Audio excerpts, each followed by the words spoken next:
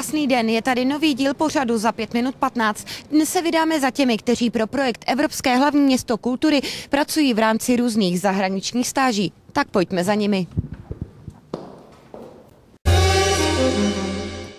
Carlos pochází ze Španělska a do Plzně přijel teprve před několika týdny.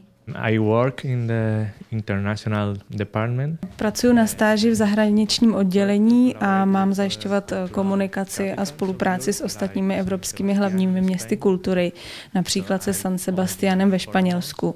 A zatím jsem tu teprve měsíc, tak eh, ještě toho hodně určitě uděláme. Pavel je z Německa, ostáž v týmu Plzeň 2015, kde pomáhá připravovat regionální program, hodně stál. Já jsem si to vybral, protože jsem, jsem chtěl jako a tak jsem si to tak představoval a tak to bylo, jak jsem si to představoval. Tak. Také Johana je z Německa. V týmu 2015 má na starosti kooperaci s německou stranou. V Plzni je už několik měsíců a domluví se česky, i když jí některé termíny dělají potíže. Myslím, že v oblasti kultury jsou uh, ještě nová slova, různé slova nebo um, používá se trošku jiný jazyk než v obyčejném češtině. Všichni stážisté se shodují, že svým přátelům doporučí návštěvu Plzně. Například se mi líbí Borský park, to je um, vedle, kode, ko, vedle kolejí, kde jsem bydlela já a to je hezké místo, místo taky. Yes, of course, I would recommend them. Určitě bych jim Plzeň doporučil. První věc, kterou jim řeknu, bude, že Plzeň není pouze městem piva, ale že je to i kulturní město a že se tady dá zažít spoustu společenských a kulturních aktivit. Občanské združení Johan ve spolupráci se Západočeskou galerií pořádá sérii přednášek na téma umění dívat se, vizuální kultura v soudobé společnosti. První přednáška se uskutečnila v polovině února pod názvem Dotyky gestaltu. Před diváky vystoupil vedoucí katedry filozofie Jaromír Murgaš. Další přednášky se odehrají vždy v úterý od 18 hodin jednou za měsíc v Západočeské galerii. První z nich odstartuje 19. března.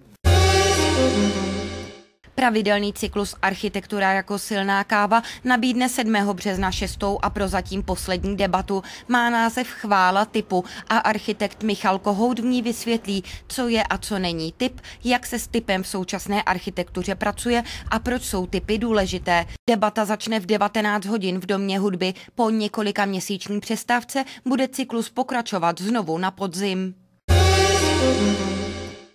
Každý týden se uskutečňují v areálu bývalého pivovaru Světovar žonglérské pondělky. Jedná se o otevřené workshopy pro všechny, kdo si chtějí zpestřit volný čas. Kromě žonglování se akce věnuje třeba i jízdě na jednokolce, základům párové akrobacie, hula hop a podobným aktivitám, již zahrnuje žánr nového cirkusu. Žonglérské pondělky na Světovaru mohou zájemci navštívit vždy od 16 do 20 hodin.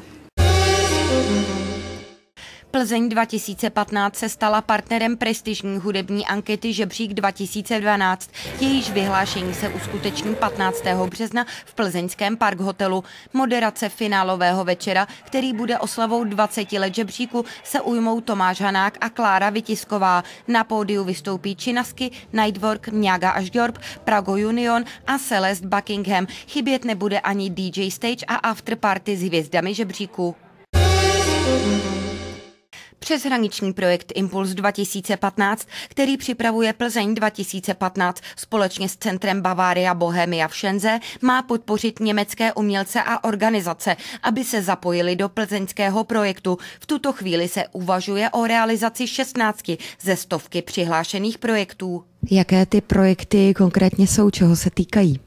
Jsou různého druhu, různého charakteru od uh, malých projektů typu uh, německá a česká vlajka složená z pivních, uh, z pivních přenosek, uh, bas, tak po obrovské megaprojekty typu pojďme zavřít jeden tunel ve Valíku, dálniční tunel tedy a vlastně udělíme tam světelnou instalaci pouze na jeden den, teda nechci strašit, že by to bylo po celý rok 2015. Uh, společným jmenovatelem všech těch projektů je spolupráce spolupráce, to znamená spolupráce německých a českých partnerů nebo vzájemná inspirace. Vlastně nejedná se o, v žádném případě se nejedná o přehlídku německé kultury nebo bavorské kultury, to, to rozhodně ne.